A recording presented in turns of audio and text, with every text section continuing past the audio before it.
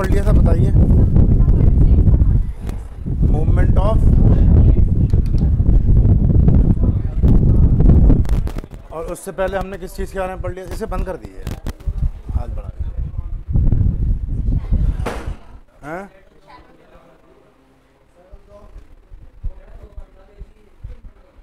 ये lights on नहीं होंगी ये वाली?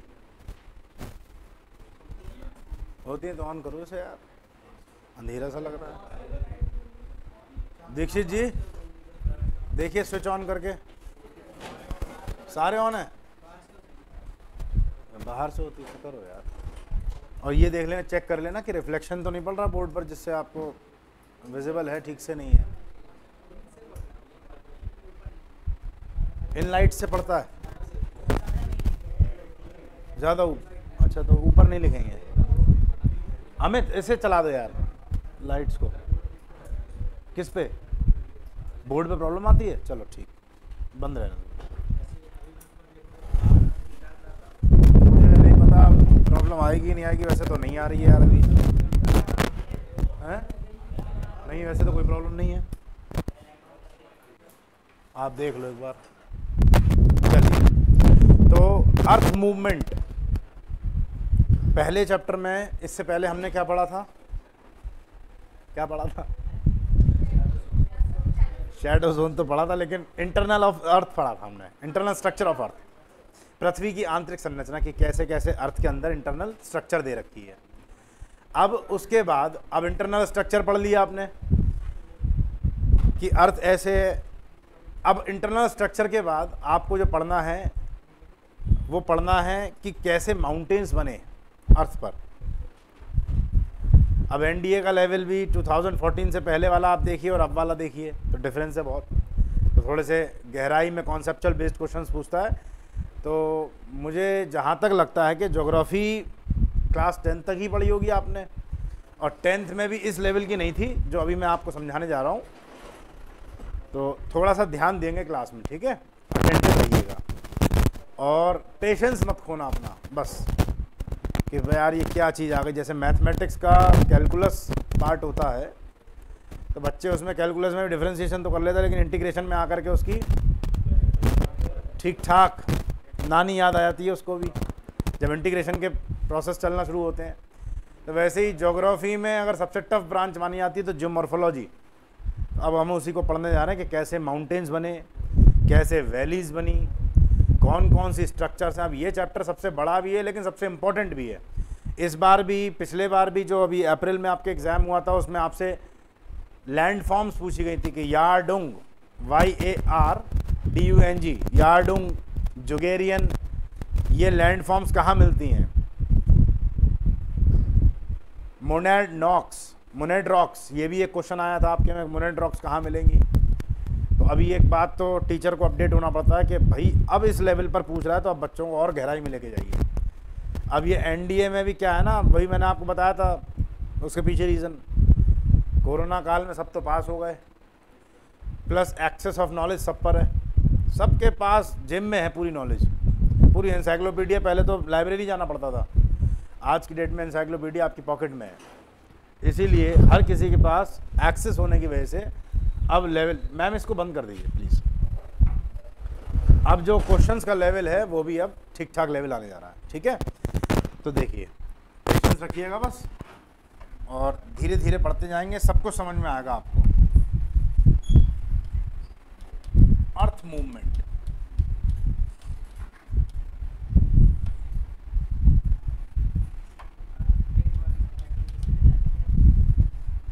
हिंदी में अगर इसे बोलें तो भू संचलन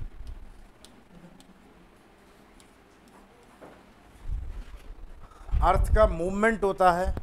अर्थ पर मूवमेंट, अब मूवमेंट केवल उन्हीं की वजह से हो रहा है जो आपने लिथोस्फेयर पढ़ा था। बाकी कोर वाली जेयर जगह नहीं मूव कर रही है अपनी जगह से, ना मेंटल कर रही है। इसीलिए आपको पहले लिथोस्फेयर पढ़ाया गया, एस्थनोस्फेयर बताया गया कि लिथोस्फेयर किस पर फ्लोट कर रहा है? एस्थनोस्फेयर। पर रिविजन करके आए हैं? हाँ। तो स्थल मंडल दुर्बल मंडल पे तैर रहा है। संचलन कर रहा है। ठीक है? लो वेलोसिटी जोन याद होगा आपको 100 से 200 किलोमीटर के बीच में, क्योंकि वो बिल्कुल सॉलिड फॉर्म में ना होकर के हल्की मेल्टेड फॉर्म में, इसलिए वहाँ पे फ्लोट कर रहा है। तो अर्थ का जो मूवमेंट होता है, वो किस, किसी भी चीज़ में मूवमेंट कैसे होगा, ये तो बेसिक सी साइंस है, ये बात आप जानते ही हैं। अगर मुझे इस टेबल को मूव कराना है तो कैसे मूव कराएँगे? फोर्स लगा करके। ऐसी पृथ्वी पर भी जितनी भी घटनाएँ होती हैं, जितने भी पृथ्वी पर मूवमेंट्स होंगे, उसके पीछे का रीज़न फोर्स है। फोर्स अब ये फोर्स दो तरीके का होता है।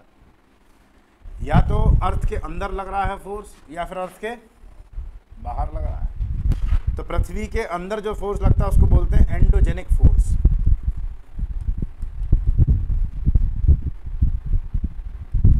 अंतर्जात बल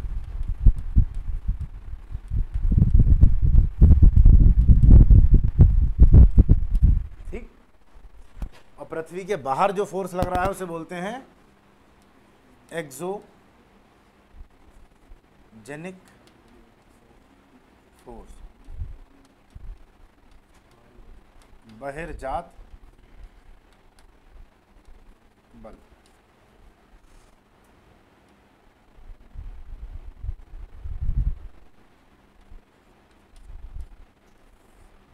एंडोजेनिक फोर्स और एक्सोजेनिक फोर्स एंडोजेनिक फोर्स में भी।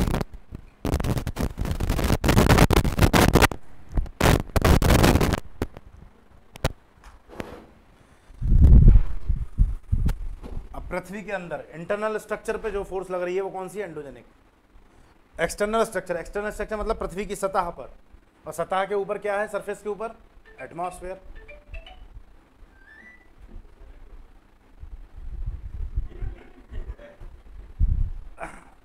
एक्सोजेनिक फोर्सेस में सरफेस से कौन सी चीज़ मिलेगी आपको? एटमॉस्फेयर एटमॉस्फेयर में जो चेंजेस आ रहे हैं, वो एक्सोजेनिक में। जबकि मैग्मा और लावा जैसी एक्टिविटीज़ जो हो रही हैं, वो सब कहाँ हो रही हैं? एंडोजेनिक में। अब एंडोजेनिक फोर्स भी दो तरीके का होता है।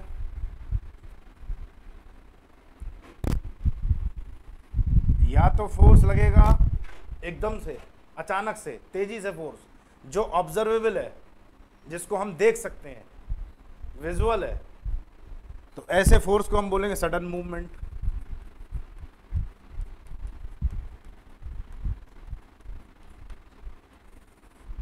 इस तरह की मूवमेंट को हम देख सकते हैं विजुलाइज कर सकते हैं, जैसे भूकंप आना।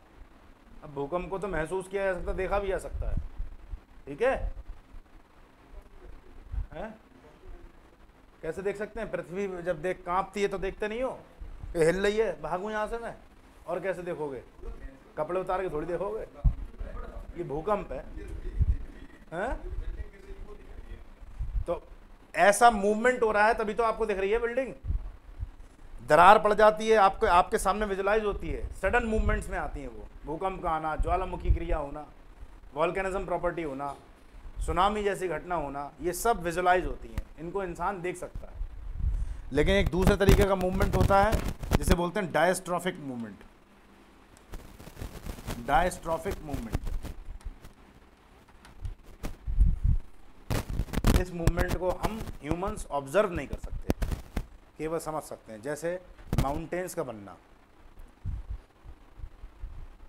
आप, जब आपकी डेट ऑफ़ बर्थ थी जब आपका जन्म हुआ, पृथ्वी पर जब आए, तब हिमालय थे? आपसे पूछ रहा हूँ मैं। आपको नहीं मालूम है। आपने मम्मी पापा से पूछिएगा। पूछिएगा, वो तो थे। जब आपका जन्म हुआ तो मम्मी पापा थे। हाँ। तो माँ बाप से पूछिएगा, उनके समय भी थे। और आप इतने बड़े हो गए हैं, तब भी हिमालय हैं। और हिमालय कई लाख वर्षों से हैं। या गंगा रिवर भी है। अब ये ऑब्जर्वेबल है क्या? नहीं ऑब्जर्वेबल है, लेकिन माउंटेन्स तो बनना है। हिमालय की हाइट आज भी बढ़ रही है। क्या ऑब्जर्वेबल है? नहीं है। इस तरीके के मूवमेंट्स डायस्ट्रॉफिक मूवमेंट में आते हैं जिनको हम ह्यूमंस डायरेक्टली ऑब्ज़र्व नहीं कर सकते। हिंदी में बोलेंगे इसको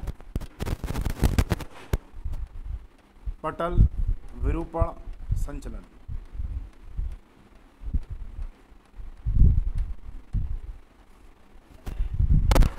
इसको बोलते हैं अकस्मात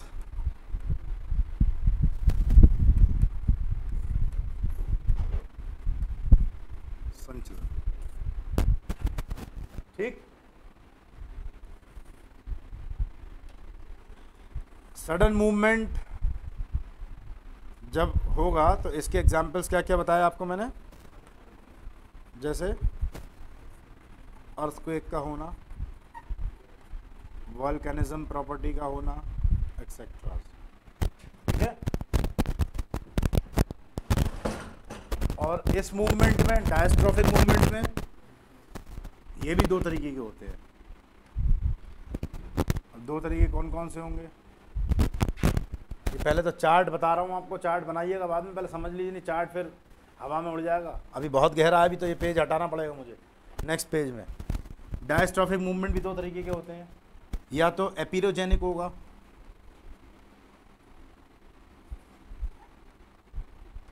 एपीरोजेनिक मूवमेंट या होता है ओरोजेनिक ओरोजेनिक मूवमेंट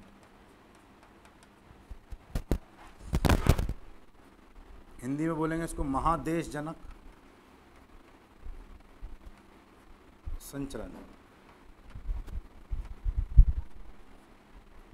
और इसको बोलते हैं पर्वत निर्माणकारी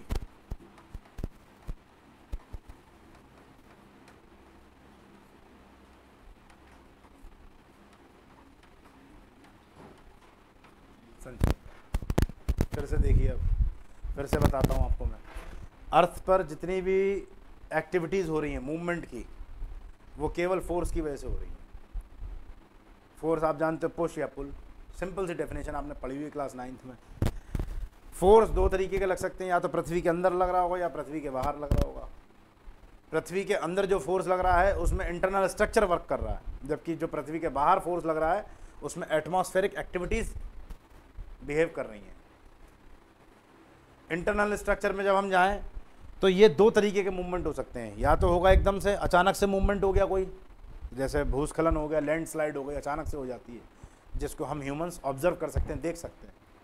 लैंडस्लाइड का होना, भूकंप का आना है, या ज्वालामुखी जैसी क्रिया है वॉल्केनिज्म प्रॉपर्टी है। जबकि डायस्ट्रॉफिक मूवमेंट में क्या होता है, ये ह्यूमंस के लिए नॉट ऑब्जर्वेबल ईजिली ये लाखों वर्षों में धीरे धीरे होने वाली सतत प्रक्रिया है। एक सस्टेनेबल प्रोसेस है, धीरे धीरे धीरे धीरे बनते हैं। कोई माउंटेन्स एक दिन में थोड़ी ना बन के तैयार हो जाते हैं। माउंटेन्स बनने के लिए कई लाखों वर्षों का समय लगता है। ठीक है?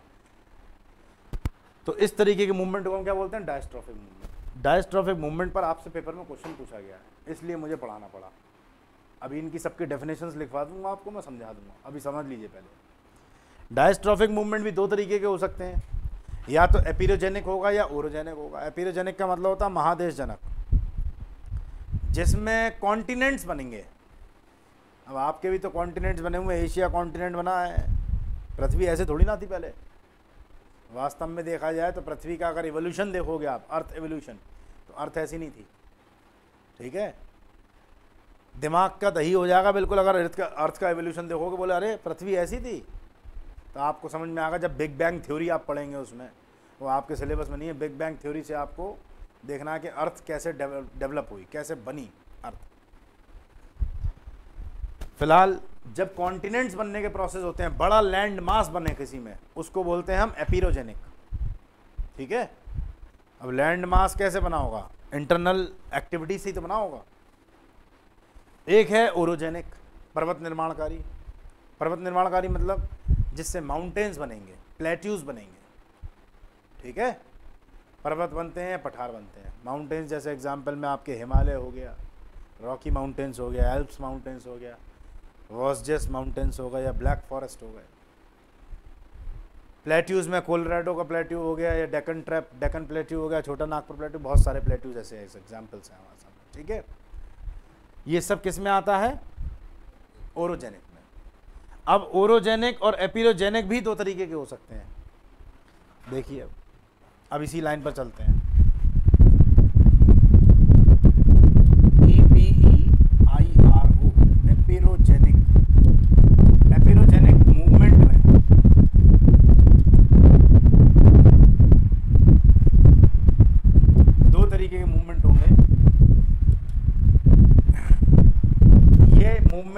डायरेक्शन के बेसिस पर डिसाइड किया गया है। या तो अपवर्ड मूवमेंट होगी, या फिर होगी डाउनवर्ड मूवमेंट।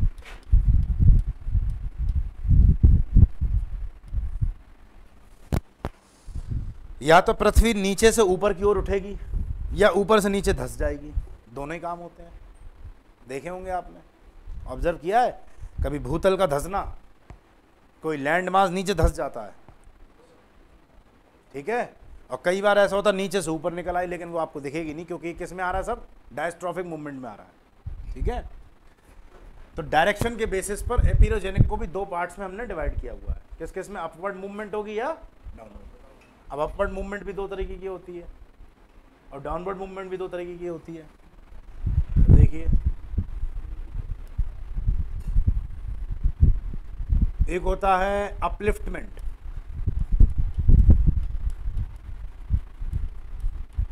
यही सब बातें लिखी हुई हैं किताबों में।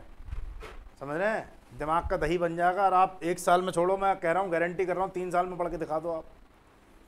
ये समरी बता रहा हूँ केवल आपको मैं, कि इस तरीके पूरे अगर बुक पढ़ लोगे, इसकी जो मॉर्फोलॉजी की तब आपको समरी ये बता दी मैंने। समराइज कर रहे हैं। यही तो काम है टीचर का बस। बाकी तो हल्के में लेते हैं लोग जीएस को, जबकि जीएस ही रुला देती है। मैथमेटिक्स तो मैथमेटिक्स मालूम थोड़ा सा ये है कि बच्चा हंड्रेड परसेंट क्वेश्चन नहीं कर पाता। लेकिन कम से कम ये अगर आपने प्रोसेस समझा हुआ है तो आप उसके जैसे कई क्वेश्चंस कर सकते हो। जीएस में ऐसा नहीं होता है। समझ रहे जीएस में तो अखबार के बारे में सवाल आया तो जोधा अखबार लिखे आया अगर तुम तो फिर गलत हो जाना है, क्योंकि बीबी के बारे में नहीं है, उनके अखबार के बारे में पूछा था। ठीक है? तो अपलिफ्टमेंट अपलिफ्टमेंट होता है उत्थान, हिंदी में। यह होगा इमरजेंस निर्गमन। देखिए, समझिए इस बात को। यहाँ तक तो बात समझ में आई थी आपको एपेरिजोनिक में? कॉन्टिनेंट का पूरा कॉन्टिनेंट ही उठ रहा है, ठीक है? ये दो तरीके के होते हैं, या तो भूतल, अर्थ सरफेस ऊपर की ओर उठेगा, या अर्थ सरफेस नीचे की ओर बैठ जाएगा तो अपवर्ड मूवमेंट हो गई, डाउनवर्ड मूवमेंट हो गई। अपवर्ड मूवमेंट जब होती है, वो भी दो तरीके की होती है। जब कोई लैंड मास ध्यान से सुनिएगा मेरी बात लैंड मास ऊपर को उठ जाए तो वो कहलाता है उत्थान अपलिफ्टमेंट जबकि समुद्र के नीचे का भाग कोई ऊपर निकल आए तो उसे बोलते हैं इमरजेंस सी वेव सी क्या होता है ना, जब सी लेवल अगर कभी कम हो जाए तो जो कॉन्टिनेंटल शेल्फ्स हैं कॉन्टिनेंटल शेल्फ समझते हैं आप? महाद्वीपीय मग्न तट हिंदी में बोलते हैं उसको। समुद्र का किनारे वाला हिस्सा, जहाँ बीच में जाते हैं, बीच। अभी एक थोड़ी देर के लिए समझ लीजिए आप, लेकिन ये परफेक्ट एग्ज़ाम्पल नहीं है, क्योंकि मेरे पास और कोई एग्ज़ाम्पल नहीं जो आपको देखा हुआ हो आपने। बीच पर तो गए होंगे आप लोग, नहीं गए हो, कोई बात नहीं, जीवन में मौका मिलेगा एक बार ज़रूर जाने का। ठीक है? हैं? संजय जी क्या कह रहे हैं? मिलेगा मिलेगा। होने दो जरा, जब दूसरा वाला साथी आता है ना जीवन में उंगली कर करके लेके जाएगा के, जाना है मुझे मुंबई, गोवा। तो तब तुम गोवा वाले बीच पे ही लेके जाओगे फिर उसे। समझे? चाहे जेब में पैसे हो ना हो, घर के गे, जेवर बेच गिरवी रख के, गेहूँ बेच करके गोवा जाओगे। हरिद्वार जाओगे? ये धार्मिक किस्म के हैं। तो तुम्हें साध्वी मिलेंगी फिर। साध्वी के ही सपने देखना, फिर उनके मत देखना। हाँ और वसी रोते लागे वो नहीं मिलेंगे फिर? बीच पर जब हाई टाइड आती है तो बीच डूब जाता है। डूब गया वो हिस्सा। और जैसे ही लो टाइड आई तो बीच का वो हिस्सा दूर तक दिखाई देने लगता है। तो ऐसा लगता है ना कि लैंड मास नीचे से ऊपर निकला है समुद्र के। उसी को हम बोलेंगे इमरजेंस कोई आइलैंड है, जैसे अभी जीलैंडिया की न्यू डिस्कवरी हुई है। जीलैंडिया देखा आपने न्यूजीलैंड के पास? नहीं सुना। मतलब ही नहीं अखबारों से। जीलैंडिया एक नया कॉन्टिनेंट को उसकी एक दर्जा दिया जा रहा है, लेकिन अभी तक दिया नहीं है। ऑस्ट्रेलिया, न्यूजीलैंड के ईस्ट में जब आप जाएँगे, जाने की ज़रूरी नहीं है कि वीज़ा लेके ही जाएँ। मैप में भी जा सकते हो आप। वहाँ पर एक आइलैंड है जीलैंडिया वो डूब गया था समुद्र में। वो नीचे निकल, नीचे से ऊपर निकल आया है। तो उसके लिए हम एग्ज़ाम्पल में क्या बोलेंगे? एमरजेंस हो गया। समुद्र में डूबी हुई चीज़ कब जब ऊपर निकल ऊपर निकल आती है तो उसको हम बोलते हैं एमरजेंस और लैंड मास अगर नीचे से ऊपर निकल आए तो उसको क्या बोलते हैं? अपलिफ्टमेंट ध्यान से रखना। मतलब केवल sea wave sea water water से मतलब है और लैंड मास से मतलब है। ठीक है? और हिंदी में देख लेना टर्म उत्थान और निर्गमन। मुखर्जी नगर में जहाँ बैठे हैं, यहीं नीचे से ऊपर कुछ निकला है एक लैंड मास तो आप कहेंगे अपलिफ्टमेंट हो गया। और मुखर्जी नगर में ही एक बराबर नाला जा रहा है। ठीक है? नाला एग्ज़ाम्पल मैंने मज़ाक में ले लिया, जबकि ये रिवर्स वगैरह में सब ये अपलिफ्टमेंट ही आएगा। केवल समुद्र के अंदर। अगर कोई नीचे का सरफेस ऊपर निकल आता तो उसका क्या बोलते हैं? इमरजेंसी और डाउनवर्ड देखो, इसमें एक बात ध्यान रखना, ये भी नीचे से ऊपर ही निकल रहा और ये भी नीचे से ऊपर आ रहा है। ठीक है? बस ये समुद्र में है और ये कहाँ है? लैंड मास पर। है डाउनवर्ड मूवमेंट में क्या है? या तो अवतलन हो जाएगा। अवतलन सब्सिडेंस और या फिर सबमर्जेंस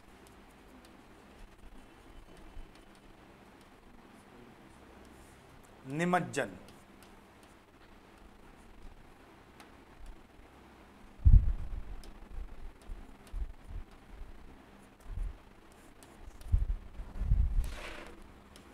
कोई लैंड मास नीचे धस जाए तो क्या हो गया वो?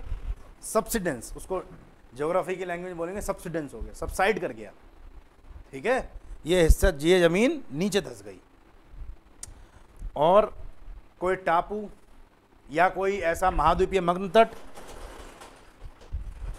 अगर समुद्र, वैसे बंद करिए। अगर महाद्वीपीय मग्न तट कॉन्टिनेंटल शेल्फ समुद्र में कोई हिस्सा ऐसा है जो नीचे बैठ जाए, डूब जाए तो उसे क्या बोलेंगे? सबमर्जेंस कहते हैं ना सबमर्ज कर गया ये तो सबमरीन शब्द इसी से तो आया है। सबमरीन जो चलती है समुद्र के अंदर, ये वर्ड जो बना है वोकेबलरी वो सब किससे आया है? इसी डूबने से आया है।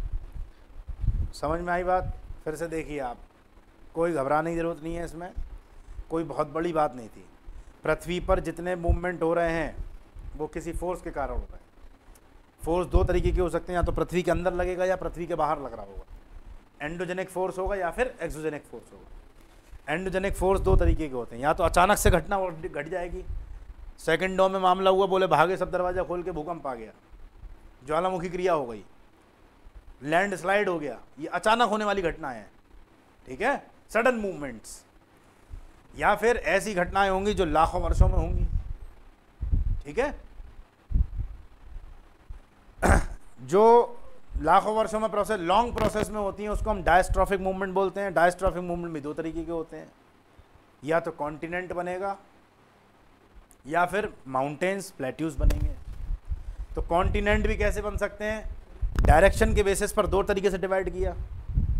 या तो कॉन्टिनेंट नीचे से ऊपर आ रहा होगा। ठीक है? या कॉन्टिनेंट ऊपर से नीचे जा रहा होगा। ऐसा भी होता है। अब आगे आप पढ़ते चले जाएँगे, ये सब बेस है। पहले बेस बना लीजिए, तब आगे आपको समझ में आएँगी कि ब्लॉक माउंटेन्स कैसे बने। या हिमालय फोल्डेड माउंटेन्स कैसे बने। ठीक है? कॉन्सेप्ट क्लियर हो जाएगा तो फिर मैं इन्हें एग्ज़ाम्पल पे अप्लाई कर दूँगा। अब देखिए लैंड मास पर कोई चीज़ नीचे से ऊपर उठ रही है तो वो क्या कहलाएगी? अपलिफ्टमेंट उत्थान हो गया, भूमि का उत्थान हो गया। और कोई समुद्र में कोई हिस्सा है, वो नीचे अगर डूब जाए तो क्या हो गया? एमरजेंस एमरजेंस हो गया? सबमर्जेंस मैंने एमरजेंस तो नहीं लिख दिया। समुद्र में डूबने वाला हिस्सा। ठीक है? ध्यान रखना, मैंने इसके बाद ये नहीं बोला है। लिखा है वो एक ही डायरेक्शन के हिसाब से। तभी आपने बोल दिया। ठीक है? समुद्र में कोई चीज़ डूब जाए तो ये। समुद्र में से कोई चीज़ उठ जाए उठ जाए। तो एमरजेंस और डूब जाए तो शब्दों पे ध्यान दीजिए, हाथों पर नहीं जा रहा ये आपका प्रेजेंस ऑफ़ माइंड शो कर रहा है, ठीक है? यहीं थोड़ी सी कन्फ्यूज़न हो सकता है, ये सब जोग्राफी की लैंग्वेजेस है। और आम बोलचाल की इंग्लिश भाषा में भी आप ऐसे यूज़ करते हो। समझ में आई? इससे कॉन्टिनेंट्स बन गए। ठीक है? अब आते हैं, दूसरा वाला एक पार्ट जो छूट गया था आपका। देखिए ओरोजेनिक नहीं पढ़ाया अभी मैंने। एपिरोजेनिक ही तो बताएँ केवल। अब ओरोजेनिक पर आते हैं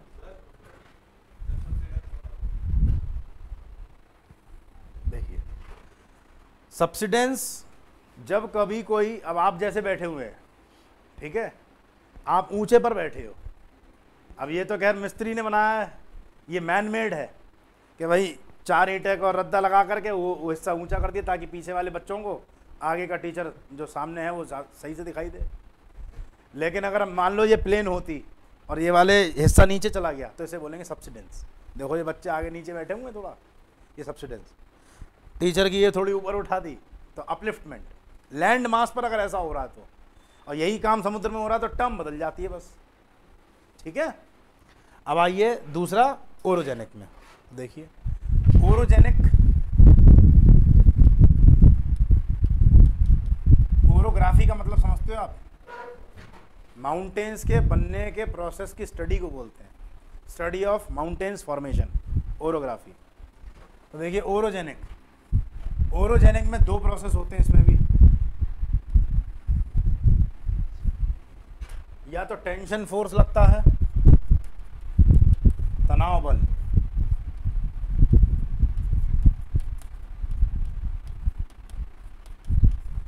या फिर कंप्रेशन फोर्स लगेगा।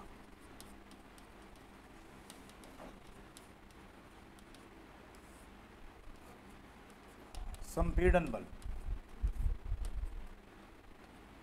मैं हिंदी, इंग्लिश दोनों में लिखता हुआ चल रहा हूँ इसीलिए। टेंशन कब लगता है? जब दोनों की डायरेक्शन ऑपोजिट होगी। दो प्लेट्स मूव कर रही हैं और दोनों प्लेट्स की मूवमेंट की डायरेक्शन कैसी हो? ऑपोजिट हो। ऑपोजिट में भी ऐसा नहीं है कि इधर इधर आ रही हैं, पास में आ रही हैं, दूर जा रही हूँ डाइवर्ज कर रही हूँ। तो क्या हो जाएगा? ऐसे में टेंशन फोर्स लगता है। अब मान लीजिए थोड़ी देर के लिए आप, जैसे मैं अभी समझाऊँगा ये चीज़ बाद में, एक प्लेट है। इस प्लेट में बीच में से चटकन आ गई, क्रैक पड़ गया। और ये वाला प्लेट का हिस्सा इधर जा रहा है, ये वाला प्लेट का हिस्सा इधर जा रहा है।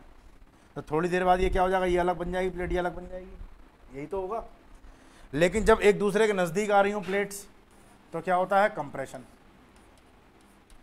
कंप्रेस हो जाएँगे। ठीक है? अगर मैं इसको ऐसे दोनों तरफ़ से दबाऊं तो कंप्रेशन फोर्स, और इसको अंदर से बाहर की तरफ़ करूँ तो फिर टेंशन फोर्स दोनों में अलग अलग तरीके के माउंटेन्स बनेंगे। प्रोसेसेस अलग अलग होती हैं। ठीक है? अब देखिए। टेंशन फोर्स जब लगता है तो पृथ्वी पर कौन कौन से पर्वत या कौन कौन सी एक्टिविटीज़ होती हैं? पहले तो इसे देखिए। एक्टिविटीज़ कौन कौन सी होती हैं? सबसे पहले क्रैकिंग या तो क्रैक्स पड़ जाएँगे। अगर एक हाथ इधर खींचा जाए, एक हाथ इधर खींचा जाए तो क्रैक्स पड़ेंगे, नहीं पड़ेंगे? समझ में आ गया संजय जी को? क्रैक्स पड़ जाएँगे, नहीं पड़ जाएँगे बॉडी में? तो चटकन की क्रिया हो जाएगी। हाथ पाँव चटक जाएँगे। ऐसा ही चटक जाती हैं क्रैक्स पड़ जाते हैं किसमें? रॉक्स में बड़ी बड़ी रॉक्स में। दूसरा हो सकता है फ्रैक्चरिंग प्रोसेस हो जाए। फ्रैक्चरिंग स्पेलिंग गलत हो गई है। F R A C T U R I N G fracturing दरार पड़ जाए। तीसरी चीज़ फॉल्ट बन सकते हैं। अगर ज़्यादा हँसी आ रही तो आप चले जाइए, क्यों दूसरों को डिस्टर्ब कर रहे हो? आपने अपनी फ़ीस दी है ना? दूसरों की फ़ीस पे नहीं करी है। समझदार है वो व्यक्ति जिससे मैं कह रहा हूँ। फॉल्ट्स फॉल्टिंग प्रोसेस इसको बोलते हैं भ्रंश बनना। तो भ्रंशन की क्रिया हो, चटकन की क्रिया हो, दरार पड़ना हो, ये सब किस कारण से होता है? टेंशन फोर्स ये एग्ज़ाम में क्वेश्चन आया था आपके। Which of the following activities do not occur by the tension force ये एनडीए का क्वेश्चन था। अब देखिए, आप इस गहराई में पूछ रहा है। वो तो क्रैकिंग भी टेंशन फोर्स की वजह से होती है फ्रैक्चरिंग भी टेंशन फोर्स की वजह से और फॉल्टिंग भी। फॉल्ट्स की वजह से भ्रंश घाटी बनती है। नर्मदा घाट नर्मदा रिवर आपकी भ्रंश घाटी में बहती है। एग्ज़ाम्पल है, तापी रिवर रिफ्ट वैली में बहती है। भ्रंश को रिफ्ट वैली बोलते हैं। अफ्रीका की महान रिफ्ट घाटी great rift valley of Africa अगर आप अफ्रीका का मैप देखें एटलस में तो साइंटिस्टों की अब ये भविष्यवाणी है कि अफ्रीका टूट के अलग हो जाएगा बहुत जल्दी। और हो सकता है आपको देखने को मिल जाए। आपको नहीं तो आपके बच्चों को देखने को मिल जाए। लेकिन अगले पचास साठ सालों में ऐसा हो जाएगा। कि अफ्रीका का पूर्वी हिस्सा, ईस्ट अफ्रीका टूटने वाला है। बहुत बड़ा land mass Somalia, Eritrea, Djibouti, Sudan, Kenya, ये सब देश अलग चले जाएँगे। मेडागास्कर की तरह एक आइलैंड बन जाएँगे। रिफ्ट वैली देखना आप उसमें एटलस अगर आप देखेंगे तो अफ्रीका के मैप में देखना रेड कलर की मार्क करिए ट्रेन की ट्रैक जैसी। आज ही घर पे जाके देखिएगा एटलस में, ठीक है, अफ्रीका के मैप में। उसी को रिफ्ट वैली बोलते हैं। अभी मैं आपको बताऊँगा रिफ्ट वैली क्या होती है। अब आगे पढ़ना है। लेकिन रिफ्ट वैली बनती इस प्रोसेस से। है ठीक है? तो बात समझ में आई आपको ये? टेंशन फोर्स से होने वाली एक्टिविटीज़ कौन कौन सी होंगी? क्रैकिंग फ्रैक्चरिंग फॉल्टिंग ठीक है? जबकि कंप्रेशन फोर्स से होने वाली एक्टिविटीज़ दो होती हैं। कौन कौन सी एक्टिविटीज़ होती हैं? या तो संवलन की क्रिया होगी। वार्पिंग या फिर वलन की क्रिया होगी। फोल्ड्स फोल्डिंग कंप्रेस जब होते हैं तो माउंटेन ऊपर को उठेगा। भाई, एक काम करिए आप, एक छोटा सा मैं आपको एक बात बता रहा हूँ, सोच के देखिए, उसको इमेजिन कीजिए। गार्डन में मिट्टी पड़ी है बहुत सारी, आपने एक ईट इधर से खिसकाई तो जब ईंट को खिसका रहे हो तो कुछ मिट्टी इस तरीके से नहीं हो जाएगी? जो प्लेन मिट्टी थी और उसके आगे आप एक ब्रिक को फोर्स कर रहे हैं तो मिट्टी जो ऐसे थी, वो इस तरीके से हो जाएँगी ना आएँगी? यही तो होगा फोल्ड्स बन गई है। हिमालय भी ऐसे ही बना है फोल्ड्स की वजह से। तो हिमालय को तभी तो बोलते हैं new folded mountain Rocky mountains को new folded mountain Andes mountain को new folded mountain Alps mountain folded mountain ये सारे माउंटेन जो मैं दुनिया के बोल रहा हूँ एग्ज़ाम्पल दे रहा हूँ आपको, ये सब फोल्डेड माउंटेन्स हैं। इसका मतलब रॉकी माउंटेन्स हो अमेरिका में मतलब नॉर्थ अमेरिका में एंडीज़ हो साउथ अमेरिका में या आल्प्स हो यूरोप में या इंडिया में आपके एशिया में हिमालय हो ये सब टेंशन फोर्स से बने या कंप्रेशन फोर्स से? कंप्रेशन क्योंकि फोल्डिंग का प्रोसेस किससे होता है? कंप्रेशन से. तो जो मैंने आपको क्वेश्चन बोला था ना एनडीए में आया है कि which of the following activity do not occurs through the tension force ठीक है? भू संचलन में. तो उसमें तीन तो ये थे और चौथा उनने वार्पिंग दिया था। तो वार्पिंग नहीं हो सकती। वार्पिंग कैसे होगी? जब दोनों प्लेट आसपास आएँगी।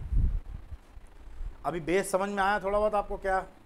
इसी से आप पढ़ पाएँगे कि माउंटेन्स कैसे बने। ठीक है? अब देखिए एक बात और। एंडोजेनिक फोर्सेस कंप्लीट कर दी मैंने।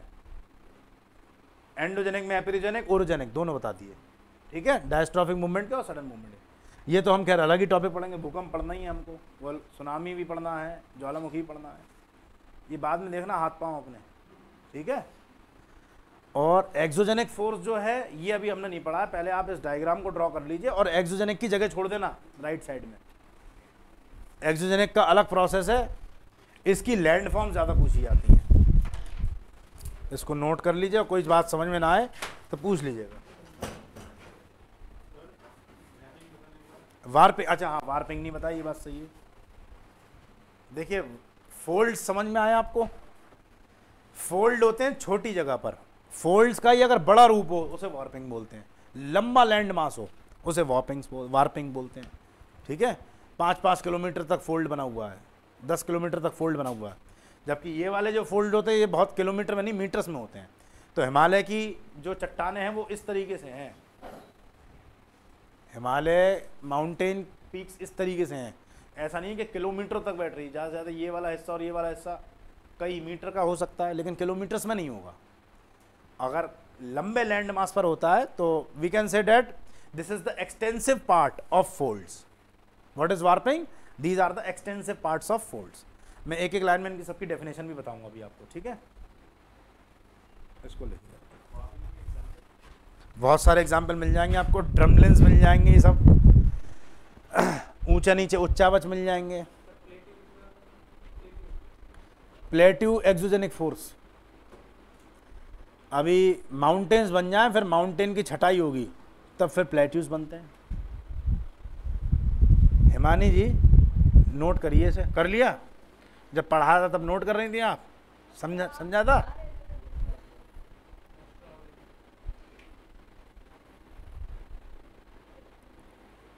इस बार, मेरे ख्याल, इस बार आया एक क्वेश्चन हिमानी झील कौन सी है इनमें से? चार क्वेश्चन आए चार ऑप्शन दिए थे उसमें। Glacier lake. ग्लेशियर को हिंदी में हिमनद या हिमानी बोलते हैं। तो which of the following is a glacier lake out of these तो चार ऑप्शन दिए थे। ऑप्शन मुझे याद नहीं है। देखिएगा आप उसमें से कौन कौन से ऑप्शंस थे। वो सब आपको उसमें पढ़ना कौन कौन सी लैंड फॉर्म्स मिलेंगी। मुस्कुरा रहे हो भैया जी? नोट कर लिया?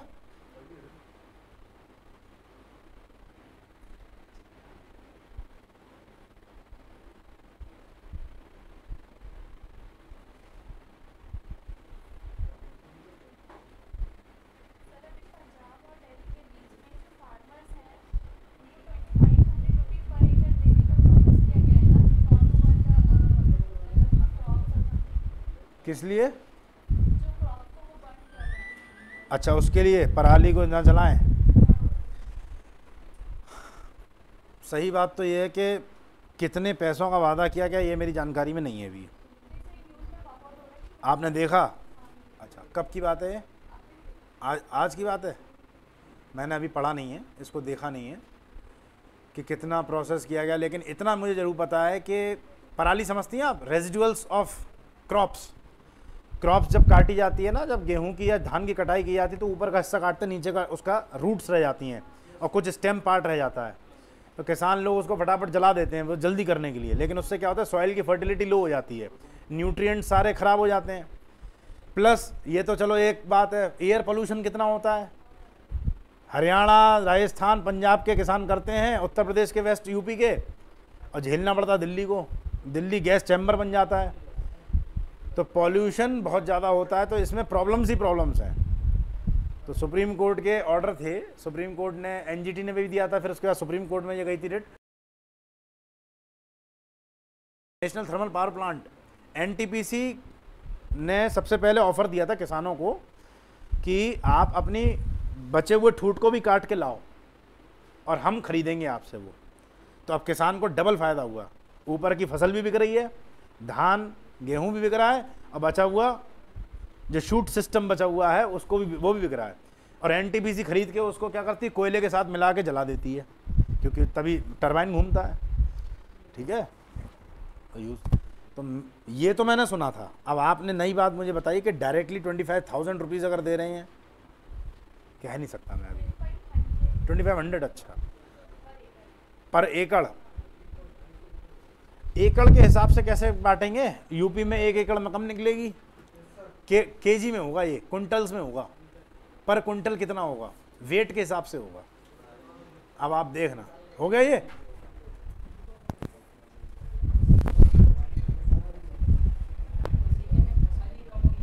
हाँ मैं वही बता रहा हूँ तो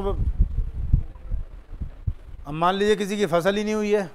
एक एकड़ में मान निकला दो किलो ही। दो किलो ठूट निकले केवल, शूट सिस्टम निकला। और एक जगह निकला दो कुंटल, सरकार तो लुट गई। पच्चीस सौ रुपये दो किलो को भी दे रही है, दो सौ किलो की भी दे रही है। ये मेरे ख्याल से वेट के हिसाब से होगा। ठीक है, आप चेक करना। अब वैसे आप क्या, मैं ही चेक करूँगा जब आपने मुझे ऐसी बात बताई है, क्योंकि ये क्वेश्चन बन जाते हैं। महारानी एलिजाबेथ निकलनी है, ये तो पता ही है आपको। हाँ ये बन गया क्वेश्चन आपके लिए जीवन को। हाँ। कोई मरे, कोई पैदा हो, किसी का शादी हो, किसी का ब्याह हो, ये आपकी समस्या आ जाती है। ठीक है? गम कहीं और है, जीवन में तुम्हारे डाल दिया। याद तुम्हें करना पड़ेगा। तो देख लेना भैया इनकी हारा की फैमिली की रॉयल फैमिली की क्या क्या थी। और एक क्वेश्चन और इम्पोर्टेंट एस की सबमिट कहाँ हुई अभी? एस संघाई कोऑपरेशन ऑर्गेनाइजेशन बहुत बड़ा फोरम है। एस की समिट 2022 की कहाँ हुई? कोरोना काल तक बंद थी हैं पहली बार विदेश में हो रही है कहीं। एस समिट क्यों? शिवी, कहाँ हो रही है? नहीं पढ़ा है। समरकंद, जहाँ का बाबर था। बाबर अकबर के दादाजी। जहाँ से आए थे। उज्बेकिस्तान एक जगह है। आज की डेट में सेंट्रल एशिया में। वहाँ का एक शहर है समरकंद। समरकंद। तो समरकंद में समिट हो रही है, मोदी जी भी गए हैं प्रधानमंत्री गए हैं हर जगह के राष्ट्राध्यक्ष जाते हैं। चाइना से भी गए हैं जिनपिंग साहब सी जिनपिंग। ठीक है? आपको पता होना चाहिए एस सी समिट कब एस सी ओ ग्रुप कब बना था? इसमें कौन कौन से मेंबर हैं? फाउंडर मेंबर कौन से थे? इंडिया कब जुड़ा है इसमें? ये सब बेसिक जानकारी आपको ही करनी है। समझ रहे हैं? वरना इंतज़ार करते रहो फरवरी का। तब मास्टर आएगा, तब पढ़ाएगा करंट अफेयर्स पाकिस्तान मेंबर है इसका क्या एससीओ का? इंडिया है। इंडिया तो है, तभी तो मोदी जी गए पाकिस्तान भी है। ध्यान रखना मेरी बात। इसलिए इंपॉर्टेंट हो जाता है शहबाज शरीफ से मोदी जी का आमना सामना समझ रहे हैं? पाकिस्तान के वो भी पहुँचे हैं मियाँ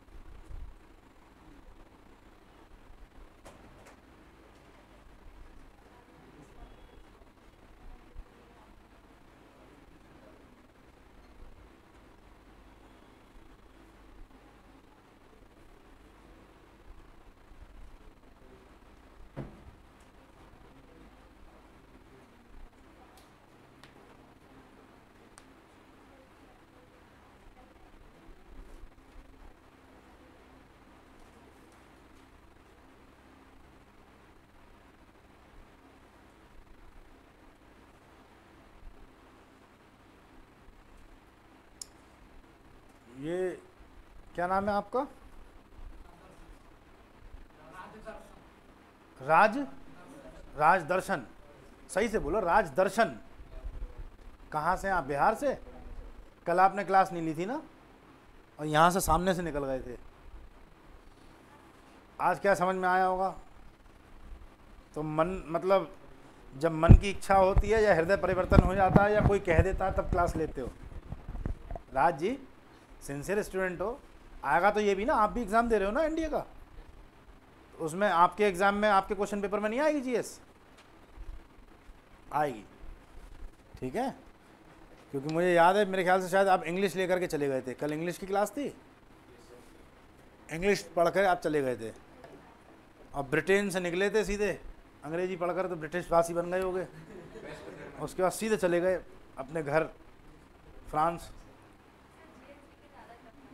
जी? टफ इसलिए है ना, अब आप एक बात सोचिए। बड़ी बेसिक सी बात, मैं तो बच्चों को एक ही एग्जांपल देता हूँ। बहुत बेसिक सा एग्ज़ाम्पल दुनिया का सेकंड सेकंड टफेस्ट एग्ज़ाम कौन सा है? वर्ल्ड सेकंड टफेस्ट और इंडिया का नंबर टफेस्ट यूपीएससी में भी अब बहुत सारे एग्ज़ाम कराते हैं। यूपीएससी संस्था का नाम है। आई सिविल सर्विसेज़ का एग्ज़ाम थर्टी फाइव परसेंट पर आई बन जाते हैं। समझ रहे हैं?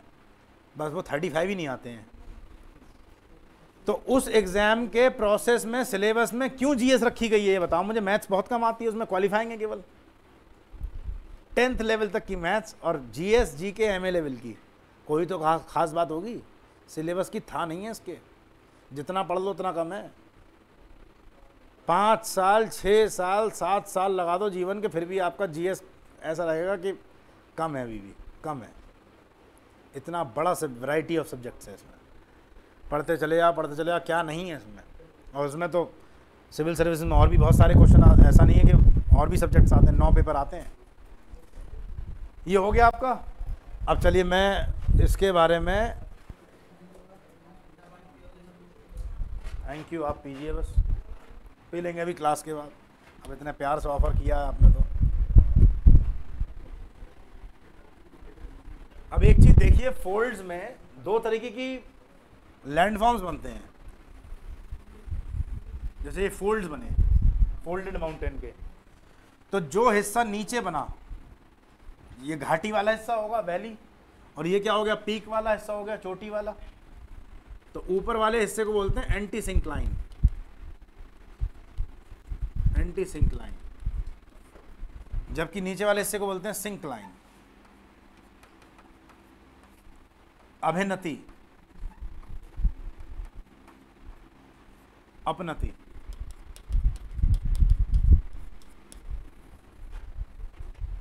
नति का मतलब क्या होता है? नति। ढाल से। डिप्रेशन और अभी का मतलब होता है अभिन्मुख। डिप्रेशन की ओर। तो डिप्रेशन की ओर। घर में आपके किचन तो होगा ही सबके। कोई ऐसा है जिसके घर में किचन ना हो? सिंक होता है किचन में। वॉश बेसिन या सिंक गहरे होते हैं। तो ये गहराई वाला हिस्सा कहलाता सिंक लाइन। उसका ऑपोजिट एंटी सिंक लाइन अपनति हाँ। क्या बताऊँ उसमें? समझ में नहीं आया? समझाया ही नहीं कुछ भी मैंने ये कहा था फोल्ड्स जो बनते हैं फोल्ड में दो तरीके की हमको लैंड फॉर्म्स मिलती है। या तो घाटी वाला हिस्सा मिलेगा, नीचे वाला हिस्सा। इसको सिंक लाइन बोलते हैं, अभिनति। या चोटी वाला हिस्सा मिलेगा माउंटेन पीक उसको बोलते हैं हम एंटी सिंक लाइन ठीक है? तो सिंक लाइन और एंटी सिंक लाइन बार बार बोलूँगा शब्द में, अब आपको एग्ज़ाम आगे तो मतलब ये रहेगा कि समझ होनी चाहिए आपको क्या है। अब कई बार ऐसे भी फोल्ड बनते हैं, जो इस तरीके से फोल्ड बनेंगे।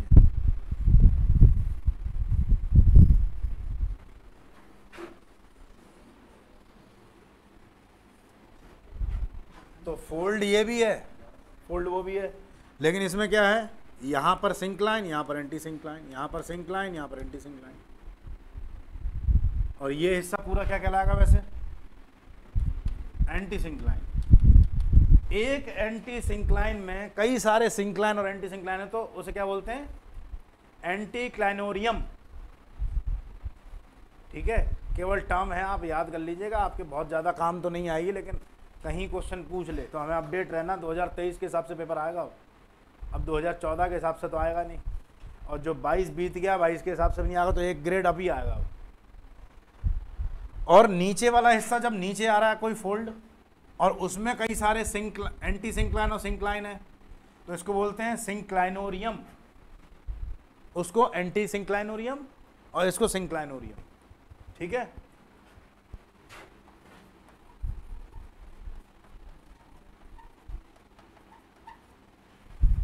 एंटी सिंक्लाइनोरियम अभी हमारे पास टाइम है। मेरे ख्याल से अप्रैल में पेपर है ना आपका? हाँ तो दिसंबर तक या नवंबर तक नवंबर तो नहीं, दिसंबर तक सिलेबस आपका कंप्लीट हो जाएगा ऑलमोस्ट तो हम पे टाइम है, इसलिए गहराई से जितना पढ़ सकते हैं, उतना पढ़ लें। फिर मैं प्रीवियस ईयर क्वेश्चन पेपर भी करा दूँगा आपको, क्योंकि इसमें टाइम ज़्यादा मिलता है, लेकिन फ़र्स्ट एन और सेकेंड एन में टाइम नहीं मिलता ज़्यादा। अप्रैल के बाद सेप्टेम्बर में, ऊपर से जून की छुट्टियाँ। मास्टर भी भाग जाता है बच्चे भी भाग जाते हैं। अभी इसमें हमें अच्छा मौका है तो हम इसको कवर कर सकते हैं। कम टाइम होता तो फिर थोड़ा शॉर्ट करके चलते। ठीक है? तो लिख लीजिए इसे भी। बैक वाला? देखिए। अरे। अच्छा वो तो रवि कर दिया। कोई बात नहीं। अंडू कहाँ से होगा? ये है। नहीं आएगा रब कर दिया ना। चलिए, मैं बना देता हूँ। कोई अगर सीधा फोल्ड है जैसे हिमालय में बहुत सारे फोल्ड मिलेंगे ऐसे तो इसको बोलते हैं सिंक लाइन और ये एंटी सिंक लाइन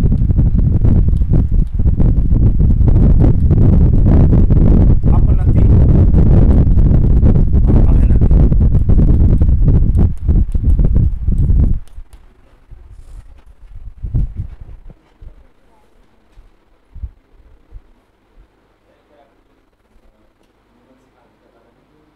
जी हाँ। फिर से बताऊँ एपिरोजेनिक मूवमेंट क्या था? आप इसे बना लीजिए, उसके बाद बताता हूँ।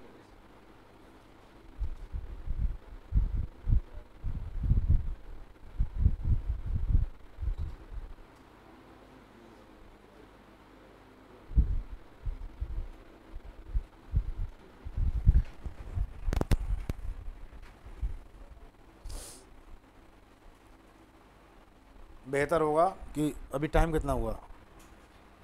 ग्यारह बजे तक क्लास है ना?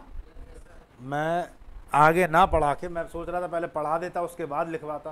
पहले मैं लिखवा दूँ क्योंकि ऐसे प्रॉब्लम आएगी। अभी इस बच्चे की जेनुअन प्रॉब्लम है। अब आगे तो पढ़ते जा रहे हैं जितनी स्पीड से आगे बढ़ रहे हैं उतनी पीछे भूलते जा रहे हैं। तो कोई फ़ायदा ही नहीं हो रहा उस चीज़ का। तो पहले मैं एक एक लाइन में लिखवा दूँ कि क्या क्या चाहिए थी वो।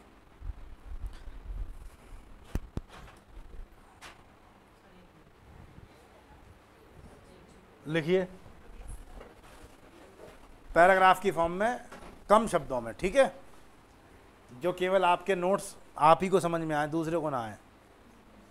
लिखिए इसमें। अर्थ पर मूवमेंट, पृथ्वी पर भू संचलन अर्थ पर मूवमेंट बल के द्वारा होता है, फोर्स के कारण होता है। इसलिए मैंने व्हाट्सएप लैंग्वेज बोली है। अगर आपको चाहिए प्योर इंग्लिश टेक्स्ट लैंग्वेज में बोलूँगा। टेक्स्ट में बोल दीजिए ना सर, उसकी तरह। तो फिर भी तुम भी सुनना चाह रहे हो क्या आज? अर्थ पर मूवमेंट फोर्स के कारण होता है। ये फोर्स दो तरीके के हो सकते हैं प्राय। Generally these forces are of two types ये बल दो तरीके के हो सकते हैं। पृथ्वी के आंतरिक भाग में लगने वाले बल इंटरनल पार्ट में लगने वाले फोर्स पृथ्वी के आंतरिक भाग में लगने वाला बल इंटरनल पार्ट पर लगने वाला फोर्स या पृथ्वी के बाहरी भाग में लगने वाला बल एक्सटर्नल पार्ट पर लगने वाला फोर्स क्या छूट गया है, मानी? हाँ। जो एक पृथ्वी के आंतरिक भाग में लगने वाला इंटरनल पार्ट में लगने वाला force the force acting under the earth या in the internal part of the earth एक फोर्स जो पृथ्वी के बाहरी भाग में लगता है। दोनों के नाम लिख लीजिए रेस्पेक्टिवली करके। क्रमशः, पहले आंतरिक भाग लिखाना आपने तो एंडोजेनिक फोर्स और एक्सोजेनिक फोर्स बाकी चार्ट आप बना चुके हो चार्ट से आप सब समझ जाओ केवल पैराग्राफ फॉर्म में लिखवा रहा हूँ मैं आपको। एंडोजेनिक फोर्स अंतर्जात बल और बहिर्जात बल एक्सोजेनिक फोर्स आंतरिक भाग में लगने वाले बल भी दो तरीके के हो सकते हैं। आंतरिक भाग में लगने वाले बल भी दो तरीके के होते हैं। इंटरनल पार्ट में लगने वाले force, the force acting in the internal part, या endogenic forces are of two types. Sudden movement force या डायस्ट्रॉफिक मूवमेंट फोर्स। आकस्मिक संचलन बल या पटल विरूपण संचलन बल। सडन मूवमेंट फोर्स या डायस्ट्रॉफिक मूवमेंट फोर्स, आकस्मिक संचलन बल या सडन आकस्मिक संचलन बल, इंग्लिश में सडन मूवमेंट फोर्स या फिर डायस्ट्रॉफिक मूवमेंट फोर्स, पटल विरूपण संचलन बल। पटल विरूपण संचलन बल। एग्ज़ाम्पल वगैरह आपने सब उसमें लिखी दी है, ठीक है? अब आ जाइए सीधे पटल विरूपण पर, डायस्ट्रॉफिक मूवमेंट पर। डायस्ट्रॉफिक मूवमेंट ब्रेक मार दूँ? नहीं मारे तो एक्सीडेंट हो जाएगा। छूट गया भैया का। आप वही है ना जो कल यहाँ कॉर्नर में बैठे थे? परस, कल या परसों, है ना? कुर्सी जिसने उठाई थी। हाँ। समझ गया मैं। आपकी द्वारा किए हुए घटना याद है मुझे। क्या नाम है आपका? योगेश। योगेश? शिरोन, राजस्थान से हो? हरियाणा से।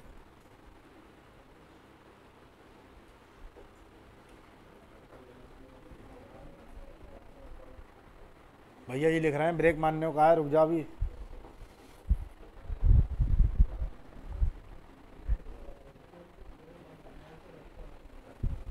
कहाँ तक लिख लिया, हिमानी लास्ट में? डायस्ट्रॉफिक मूवमेंट बोले?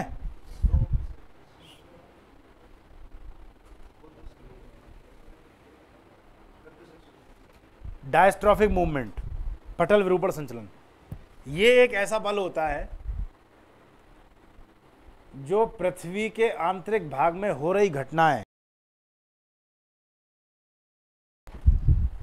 लंबे समय बाद परिणाम में निकलती हैं। This is a type of movement in which the results appear after a very long period पृथ्वी के आंतरिक भाग में ऐसा बल है, जिसका परिणाम एक लंबे अवधि के बाद देखने को मिलता है। आफ्टर लॉन्ग पीरियड ऑफ़ अब ब्रैकेट में लिख लेना लॉन्ग पीरियड का मतलब मिलियंस ऑफ़ ईयर अगो जो कई मिलियंस कई लाख वर्ष पहले ऐसा काम हुआ था, ठीक है? लाखों वर्ष के अंतराल के बाद कोई चीज़ बनती है ये। ये मत कह देना, मेरे दादाजी ने देखी थी। ठीक है? एक लाख साल पुराने दादाजी हैं मेरे। ऐसा कह दोगे तो फिर टीचर चौंक जाएगा, जो एग्जामिनर है। इसके द्वारा बनने वाली स्थलाकृतियाँ, जैसे the landforms created by this movement are like the land forms created by this movement are like mountains plateaus plains etcetera पर्वत पठार मैदान आदि मैदान प्लेट्यू प्लेन्स और प्लेन्स के बाद एक्सेट्रा ईटीसी आदि।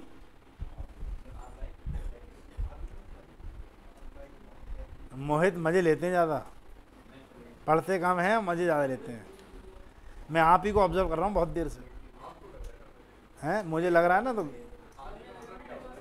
एक्सेट्रा बताया नहीं मैंने आपको। उसने कुछ नहीं कहा, तुम उसकी मन की बात, उसके ऊपर बंदूक मत तानो। अपनी बातें बता रहे ठीक है? लिखिए अब, उसके बाद, ये डायस्ट्रॉफिक मूवमेंट दो तरीके के एपिरोजेनिक अब या एपिरोजेनिक करके हेडिंग लिख लो बस सीधे। एपिरोजेनिक और ओरोजेनिक महादेश जनक इसमें महाद्वीपों का निर्माण होता है। कॉन्टिनेंट्स आर फॉर्म्ड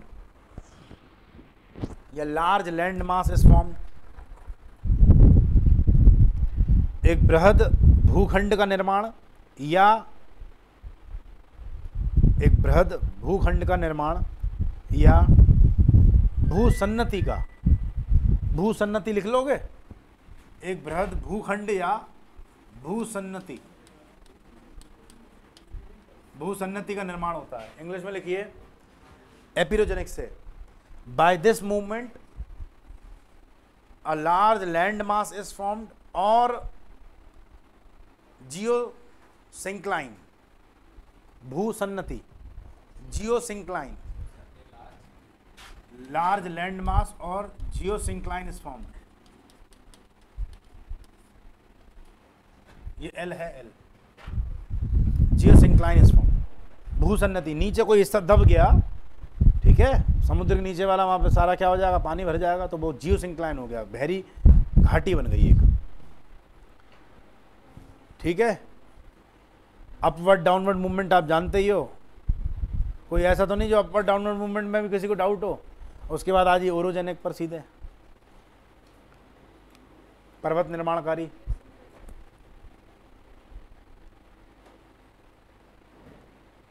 ओरोजेनिक में लिखिए। इस बल के द्वारा by this force mountains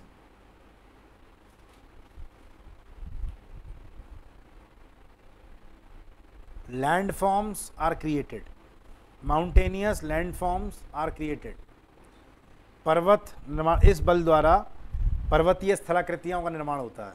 पर्वतीय स्थलाकृतियों का निर्माण होता है। माउंटेनियस लैंडफॉर्म्स आर क्रिएटेड पर्वतीय स्थलाकृतियों का निर्माण होता है।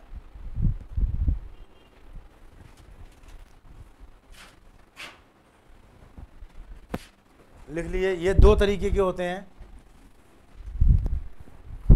या तो तनाव बल लगेगा, जब भूखंड की दो प्लेटें एक दूसरे से अलग जा रही हों, या फिर संपीडन बल लगेगा, कंप्रेशन फोर्स लगेगा, जब भू तल पर दो प्लेटें एक दूसरे की ओर आ रही हों। Plates coming towards each other तो compression force plates moving away from each other. That is tension force आप इसको ना दूसरे टर्म में डाइवर्जेंट और कन्वर्जेंट भी लिख सकते हो। तो ऐसे भी वर्ड से आ सकते डाइवर्जेंट मतलब एक दूसरे से दूर जा रहे हैं। डाइवर्ज डाइवोर्स डाइवोर्स शब्द क्या है? डाइवोर्स का दिमाग में वही आता है कि बोले बोले लो, दो लोगों का विवाह विच्छेद हो गया। डाइवोर्स का मतलब अलग होना विच्छेदित होना। तो ये दो प्लेट हैं। कौन सा वाला? टेंशन फोर्स का लिखिए जब दो प्लेट प्लेटों में डाइव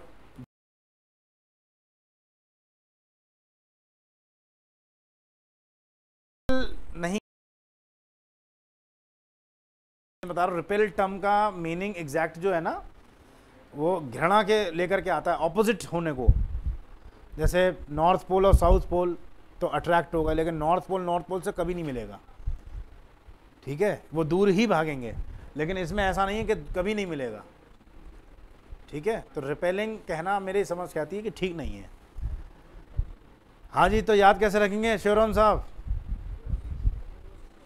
जब दो लोगों में डाइवोर्स हो जाता है तो टेंशन होगी तभी तो डाइवर्स होगा ना? तो टेंशन फोर्स थी तभी तो डाइवर्स हुआ। दूर जा रही थी प्लेट है। अब ये जो दो लोगों की बात है, वो उसे अपने अप्लाई कर दो प्लेट पर। शांति होगी तो शादी से पहले जो काम था वो कंप्रेशन फोर्स था। समझ गए? नहीं आई समझ में। राजदर्शन, जब अट्रैक्शन है, एक दूसरे के ओर आ रहे हैं तो फिर कंप्रेशन फोर्स ऐसे प्लेट्स के साथ भी। समझे? और टेंशन फोर्स में दूर जा रहे हैं। टेंशन फोर्स में दूर जा रहे हैं डाइवर्जेंट प्रोसेस हुआ डाइवोर्स हो गया टेंशन हो गई, टेंशन होगी, मारपीट भी होगी तो फ्रैक्चर भी होंगे। हाथ पैरों में, चटके भी होंगे। सही है। आपकी उम्र वो है ना, जल्दी इसी मामले में सीखती है।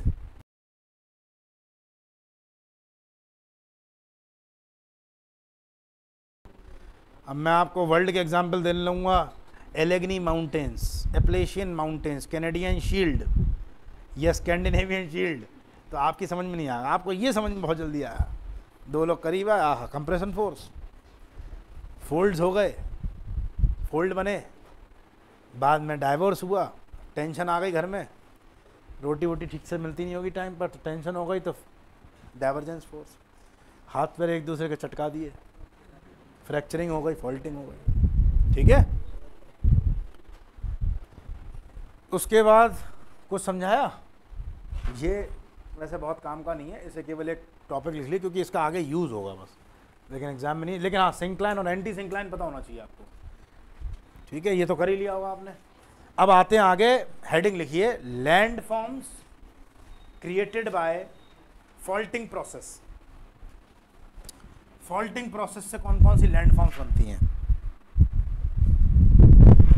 Landforms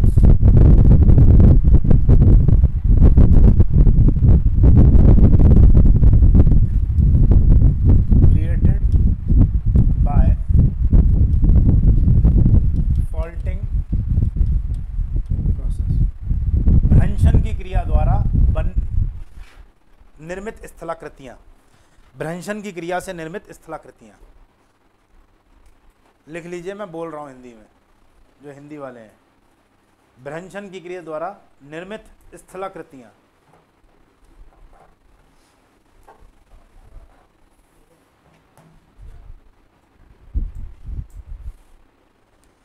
नोट हो गया? अब ये तो बताने की ज़रूरत नहीं है फॉल्टिंग प्रोसेस टेंशन फोर्स से आया होगा। इसका मतलब प्लेट्स दूसरे, एक दूसरे से दूर जा रही हैं। अब देखिए आप, इससे बनने वाले चार प्रोसेस पढ़ने हैं आपको, चार लैंडफॉर्म्स यहाँ से आपकी असली, ज़्यादातर जो क्वेश्चन पूछे आएँगे अब यहाँ से आएँगे। कि रिफ्ट वैली ये नाम बहुत सुनते होगे आप बार बार रिफ्ट वैली रिफ्ट घाटी। क्या होती है ये रिफ्ट घाटी?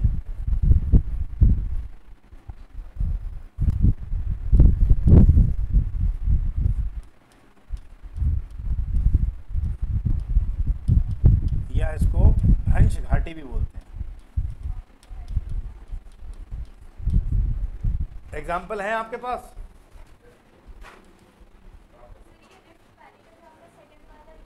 भ्रंश घाटी हाँ।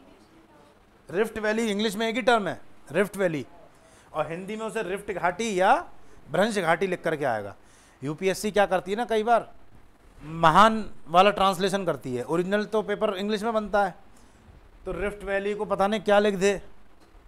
तो अब वो आजकल ऐसे लिखने लगे हैं हिंदी में आ, हिंदी वर्तनी में ठीक है?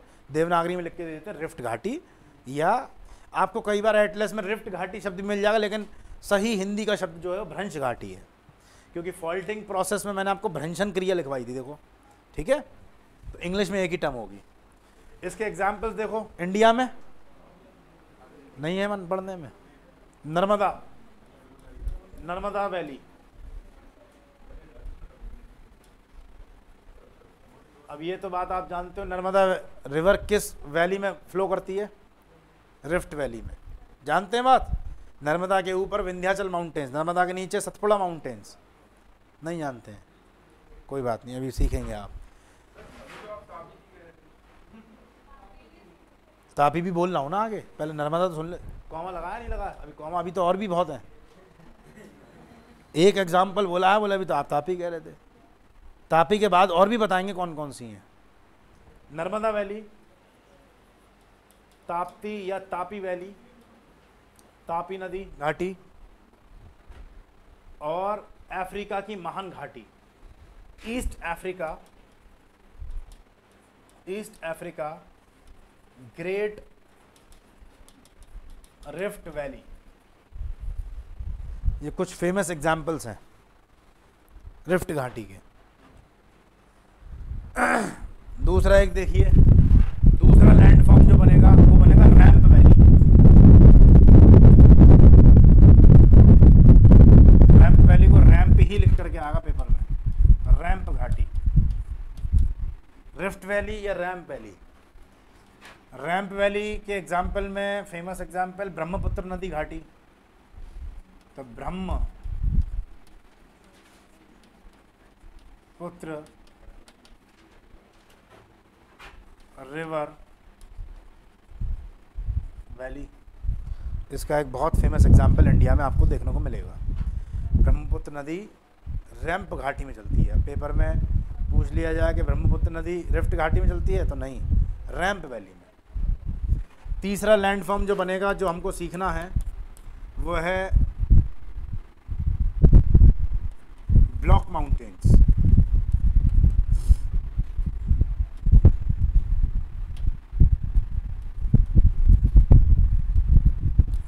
हिंदी में ब्लॉक पर्वत।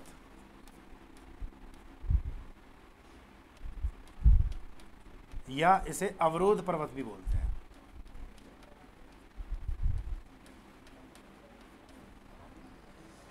ब्लॉक माउंटेन्स का एग्ज़ाम्पल इंडिया में फ़ेमस है? हिमालय। मोहित जी। अरावली इसका एग्ज़ाम्पल है ओल्ड फोल्डन माउंटेन का एग्ज़ाम्पल है। Satpura. Satpura mountains black forest star लगाना, ये पेपर में पूछा गया कई बार। ब्लैक फॉरेस्ट कहाँ मिलेंगे ब्लैक फॉरेस्ट बेकरी की दुकान पे, जो ब्लैक फॉरेस्ट चॉकलेट पेस्ट्री खाते हो आप लोग। कहाँ मिलेगा श्रेया? बलिया में।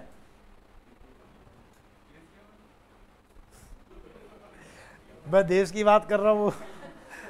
उनने महादेश बता दिया पूरा कॉन्टिनेंट चलो, शुक्र है एशिया बता, ये नहीं कहा धरती पे मिलेगा। अरे सर, आसमान में तो नहीं मिलेगा। ब्लैक फॉरेस्ट जर्मनी जर्मनी में। ठीक है? बहुत फ़ेमस माउंटेन्स हैं। वॉसजेस माउंटेन नहीं वॉसजेस उसका एग्जांपल नहीं है। ब्लैक फॉरेस्ट के बारे में तो पेपर में पूछा गया ऐसे लगा लिया आप इम्पोर्टेंट और इंडिया में सतपुड़ा माउंटेन्स चौथा जो हॉर्स्ट माउंटेन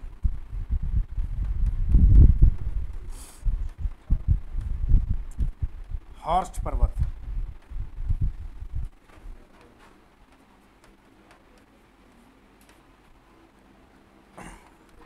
इसके एग्ज़ाम्पल ये सारे एग्ज़ाम्पल लिख रहा हूँ मैं।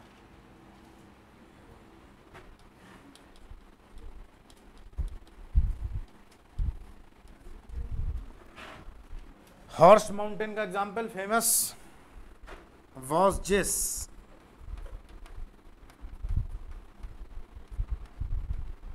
ये वॉसजिस कहाँ मिलेगा? फ्रांस और जर्मनी की सीमा पर। फ्रांस, जर्मनी के बीच में। Vosges mountain. Salt valley. नींद आ गई? ये चार तरीके के लैंड फॉर्म्स आपको पढ़ने हैं जो फॉल्टिंग प्रोसेस से बनते हैं। ठीक है?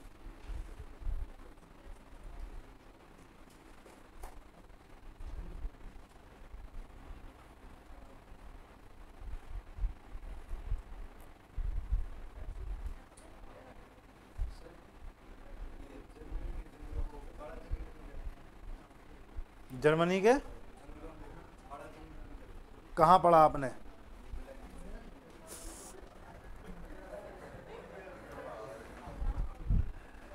बहुत अच्छा क्वेश्चन है आपका, सच में मैं ऑन कैमरा हंस भी नहीं पा रहा हूँ और रियलिटी बता रहा हूँ। बहुत प्यारा सा इनोसेंट क्वेश्चन है। काला जंगल नहीं है ये, काला जंगल एक ब्लैक फॉरेस्ट नाम है पर्वत का। प्रभु, सही है? एक काला जंगल नहीं है, मैं कहूँ, काले जंगल कहाँ मिल रहा है? हर चीज़ को हिंदी में ट्रांसलेट करो ये ब्लैक फॉरेस्ट नाम है किसी का। अब गाँव में कोई बच्चा पैदा हुआ, रंग सांवला है, कलुआ कह दिया उसे। कल्लू कह दिया थोड़ा सा मंद बुद्धि है तो पप्पू कह दिया। इसका मतलब ये नहीं कि वो बिल्कुल कोयले की तरह काला है, कल्लू। ठीक है, या कोयला है। ये नाम है किसी का। ठीक है? मैं सच में आपके क्वेश्चन पहले ये सोच गया, इसने पूछा क्या है उससे? लेकिन बहुत प्यारा क्वेश्चन थी। मतलब इनोसेंस दिखाता है ये इनका। हाँ क्या कह रहे हैं आप? कोई बात नहीं, इसमें कोई ऐसी बात नहीं। सबसे अच्छी बात है कि उसने अपना डाउट क्लियर करा। भाई, वो अपना पढ़ने आया है, उसने नहीं कोई बात समझ में आई, पूछ ली। अगर यही बात ये जानबूझ के ऐसे करते कि मतलब जानबूझ के तो नहीं था ना ये? हाँ मुझे लग ही रहा था जानबूझ के नहीं है। क्योंकि इतना तो समझ में आता है कि बच्चे के मन में डाउट था। मज़े नहीं लेने क्लास में। कोई डाउट है अगर तो छोटी सी छोटी बात पूछिए बड़ी सी बड़ी बात पूछिए लेकिन जानबूझ के मज़े नहीं लेने हैं। आप क्या कह रहे हैं संजय जी? क्या हिस्ट्री में क्या हुआ? हाँ। ठेका था? अच्छा वाइन शॉप तो एक बात मुझे बताइए, ये आपकी क्वेरी थी या आपकी चाहत थी? Your need whether this was your requirement और this was your query query थी. Definitely if you want that particular thing which you was asking in your history class you can go and bypass this building and you will get one by one one of one एक के साथ एक free मिलेगी आपको वहाँ मिलेगा। एक पीछे भी है। तीन जगह मिलेंगे मुखर्जी नगर तो अगर हड़प्पा सभ्यता में ही जाना है तुम्हें तो हड़प्पा छोड़ो आज की डेट में यूज़ करो उसे। तीन है मुखर्जी नगर में। ठीक है? अब पता नहीं मैं तो राह चलते देखे हैं तीन और भी होंगे लेकिन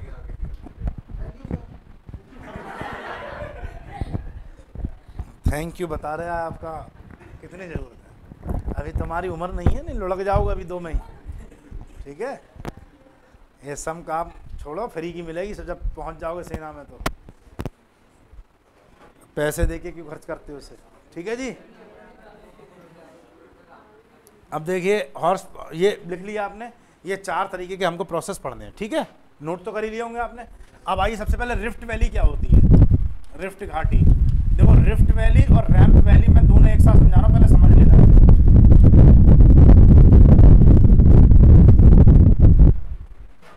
देखिए।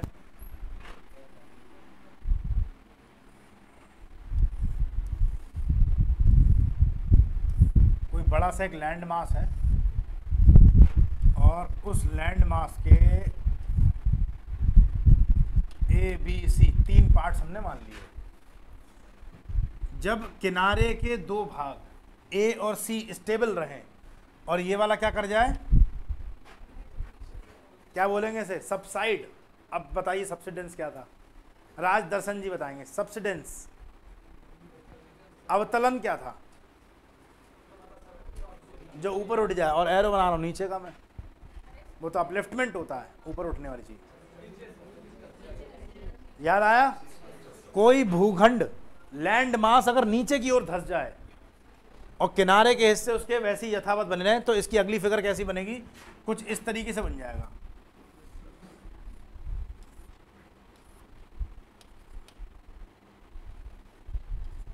ये हिस्सा नीचे आ गया तो ये बन गई रिफ्ट वैली समझ में आई बात? रिफ्ट वैली क्या होती है? अब एक लाइन में आपको उसकी डेफिनेशन बोलता हूँ।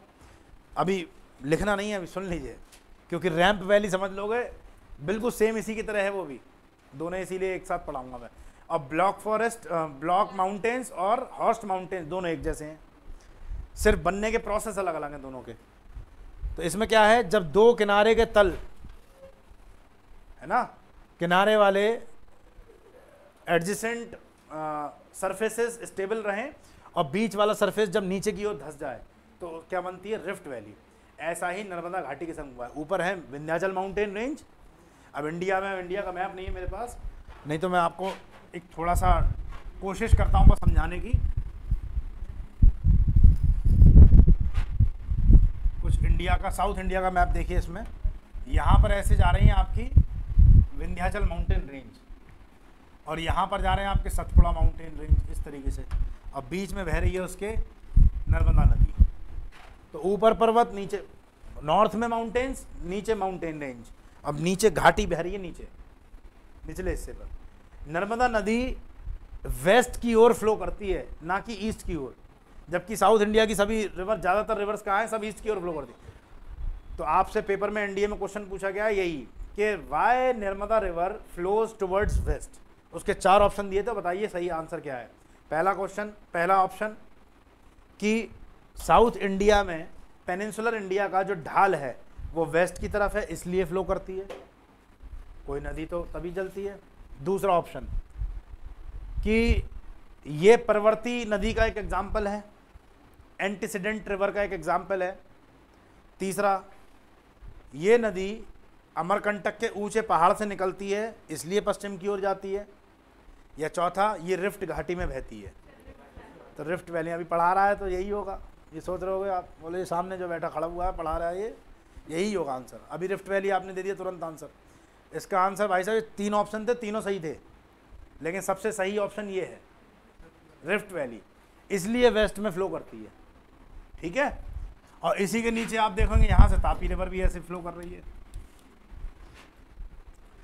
तो अगर नॉर्थ से साउथ सीक्वेंस पूछे आपसे नॉर्थ इंडिया साउथ तो ये विंध्याचल माउंटेन रेंज ये नर्मदा रिवर ये सतपुड़ा माउंटेन रेंज ये तापी रिवर तो दो नदियाँ, दो पहाड़ पर, पर्वत श्रेणियाँ। ठीक है? ये नॉर्थ से साउथ सीक्वेंस है। तो रिफ्ट वैली में फ्लो करती है इसलिए। अब आइए आप देखिए। तो रिफ्ट वैली आपको समझ में आए, बीच वाला हिस्सा जब नीचे सबसाइड कर जाए। अब देखिए, इसी का जस्ट अपोजिट अब फिर से वही प्लेन है। जब बीच वाला हिस्सा कांस्टेंट रहे और किनारे के तल नीचे खिसक जाए, नहीं सॉरी किनारे के तल ऊपर को अपलिफ्ट हो जाए। ध्यान से सुनिए मेरी बात। बीच वाला, अब की बार बी पोर्शन स्टेबल है, लेकिन किनारे वाले तल ऊपर की ओर अपलिफ्टमेंट हो जाए। वहाँ पर क्या हुआ था? सब्सिडेंस यहाँ हो रहा अपलिफ्टमेंट तो इसकी नेक्स्ट फिगर कैसी बनेगी, वो भी तो बन जाएगी। देखिए अब आप, मैं आपको एक फिगर बना के दिखाता हूँ। फिगर ऐसी बन जाएगी ए बी सी बीच वाला ऐसे ही रहा और ये ऊपर अपलिफ्ट हो। गए तो बन गई रैंप वैली अब सोचने वाली बात यह ध्यान से देखिए रैंप वैली और रिफ्ट वैली एक सी दिख रही है बिल्कुल। दिखने में एक सी होती हैं, लेकिन बनने का प्रोसेस अलग अलग है। बनने का प्रोसेस अलग अलग है, इसलिए इनके नाम अलग अलग है। समझ में आई बात? नहीं आई? तो अगर आपसे ये पूछा जाए कि rift valley is form by the subsidence process statement is correct correct ramp valley is form by subsidence process wrong it is form by upliftment process समझ आई बात? अब लिखिए पहले से। फिर मैं ब्लैक फॉरेस्ट के एग्ज़ाम्पल वगैरह या ब्लॉक माउंटेन्स के एग्ज़ाम्पल आपको बताऊँगा। लिखिए रिफ्ट वैली में। एक तो ये डायग्राम बनाना सबसे पहले। इस डायग्राम को ड्रॉ करिए एबीसी वाले को। और ये वाला डायग्राम और एरो ज़रूर ध्यान से देखना, क्योंकि एरो ही डिसाइड करेगा, बाकी तो रिज़ल्ट तो सेम से आ रहे हैं। ठीक है? देखने में आपको एक सी लगेंगी, चाहे ब्रह्मपुत्र की नदी घाटी हो या नर्मदा नदी घाटी हो। देखने में एक सी लगेगी, लेकिन बनने का प्रोसेस अलग अलग है, इसलिए उन अलग अलग एग्ज़ाम्पल हो गए। तो इंडिया में जो आइडियल आंसर मिलता है कि रैम्प वैली का एग्ज़ाम्पल क्या है वो? भैया जी बताएँगे ये शर्ट वाले हाँ जी। रैम्प वैली का बेस्ट एग्ज़ाम्पल इंडिया में क्या है?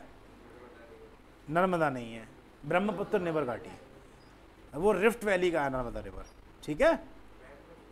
रैंप का पूछा है मैंने, ठीक है? तो थोड़ा सा ध्यान रखिएगा इस बात को पेपर में पूछा गया है ये।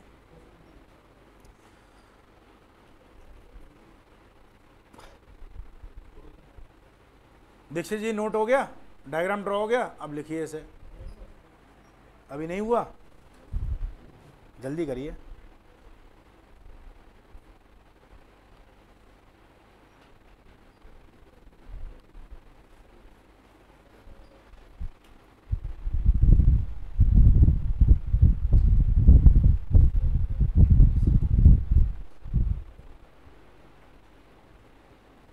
लिखिए। When A and C planes remains stable जब ए और सी तल स्थिर रहते हैं, जब ए और सी तल स्थिर रहते हैं when A and C planes remain stable and the middle plane और बीच वाला तल बीच वाले तल का क्या हो जाए? अवतलन। When the middle plane get subside the rift valley is formed जब बीच वाला तल क्या हो जाए? नीचे की ओर धस जाए या अवतलन हो जाए तो उसको क्या क्या बनती है? एग्ज़ाम्पल आप पहले लिख चुके हैं। नर्मदा रिवर का एग्ज़ाम्पल आप, नर्मदा रिवर की वैली या तापी रिवर की वैली ठीक है? अब देखिए, एक समझ वाली बात आपको बताऊँ, अब ये घंटे क्लास में क्या क्या बता दूँ आपको मैं? गंगा रिवर देखना, यमुना रिवर देखना, इंडस देखना, ब्रह्मपुत्र ब्रह्मपुत्र छोड़ दीजिए, एक एक्सेप्शन है वो। महानदी, कृष्णा, कावेरी, गोदावरी, इन सब बड़ी नदियों को देखो, आप बहुत ज़्यादा चौड़ी हैं। एक्सपैंड ज़्यादा कर गई हैं, कारण प्लेन्स में बहती हैं। जबकि नर्मदा रिवर और तापी रिवर बहुत ज़्यादा फैल नहीं पाई है। एक सीधी सीधी चलती है रेखा में। जैसे पाइप में चल रही है। ऊपर सेटेलाइट से इमेज देखोगे तो ऐसा लगे जैसे पाइप एक नाला जैसा बना, आर्टिफिशियल नाले की जैसे जा रही हो, बहती हुई। कारण क्या है? क्योंकि ऊपर भी पर्वत श्रेणी और नीचे भी पर्वत श्रेणी। रिफ्ट वैली में चल रही है। नीचे कोई नाली बनाते तो कैसे बनाते हैं? देखा होगा ना आपने? रिफ्ट वैली जैसी तो बनती है वो भी। तो इसीलिए नर्मदा रिवर का बहुत ज़्यादा बेसिन चौड़ा नहीं है। Narmada rivers basin is not wider as compare to Godavari river Ganga river और अदर रिवर्स ठीक है? Same same activities with the Tapi river ठीक है? अब आइए इस पे रैंप वैली पे। जब बीच वाला तल स्थिर रहे, इसी डायग्राम के अकॉर्डिंग हाँ ड्रॉ कर लीजिए डायग्राम सेम मेन डायग्राम यही होगा। एक नंबर, दो नंबर और तीन नंबर। जब आप रिफ्ट वैली बनाओगे रिफ्ट वैली को लिख रहे होगे तो एक नंबर, दो नंबर डायग्राम बनाना। रैम्प वैली कर रहे हो तो एक नंबर, तीन नंबर बनाइएगा। एक नंबर वाला डायग्राम कॉमन रहेगा दोनों में, ठीक है? जब बीच वाला तल स्थिर रहे, तथा किनारे के दो भ्रंश तल ऊपर की ओर उत्थित हो जाएँ uplifted when the middle plane remains stable and the adjacent किनारे के दो तल adjacent planes gets uplifted then the landform landform created is called क्या बोलेंगे उस लैंडफॉर्म को रैम्प वैली एग्ज़ाम्पल ब्रह्मपुत्र नदी घाटी आपने लिख लिया क्या बताऊँ भैया? Plains uplifted uplift adjacent plain uplift the land form created is ramp valley the land form created is ramp valley ठीक है? ब्लॉक माउंटेन्स और हॉस्ट माउंटेन्स ये दोनों एक साथ पढ़ने हैं क्योंकि दोनों का बनने का प्रोसेस अलग है, लेकिन फिर से डायग्राम आपको कॉमन मिलेगा। ठीक है? तो हेडिंग डाल के छोड़ दीजिए नेक्स्ट क्लास में हम लोग पढ़ते हैं। ठीक है? धीरे धीरे धीरे धीरे करके हम लोग देखो, इस चैप्टर को कंप्लीट कर लेंगे। और चैप्टर नहीं है अपने आप में एक यूनिट है। और मुझे उम्मीद है, क्योंकि आप लोग सिंसियर स्टूडेंट हैं, थोड़ा अटेंटिव रहोगे क्लास में, आप कर लोगे। इसमें कोई ऐसे बहुत हार्ड एंड फास्ट चीज़ नहीं है। धीरे धीरे आपको इमेजिनेशन पे लाना है। And geography is all about imagination only because you you are unable to reach everywhere you are unable to go any everywhere केवल इमेजिन करना आपको, ठीक है? कि ऐसा ऐसा हुआ है। और ये भी सारी चीज़ें मैंने भी किताब से पढ़ी हुई हैं। साइंटिस्टों की रिसर्च पढ़ी हुई हैं। जोग्राफर्स की रिसर्च पढ़ी हैं। मैंने भी ऐसा होते हुए देखा नहीं है। ठीक है? तो आप कहीं सोचो, दिमाग में ये आएगा, बोले ऐसा होता भी होगा कि अपनी पट्टी पढ़ा रहे हैं। तो कई बार दिमाग में आ जाता है तो अपने दिमाग की व्याधा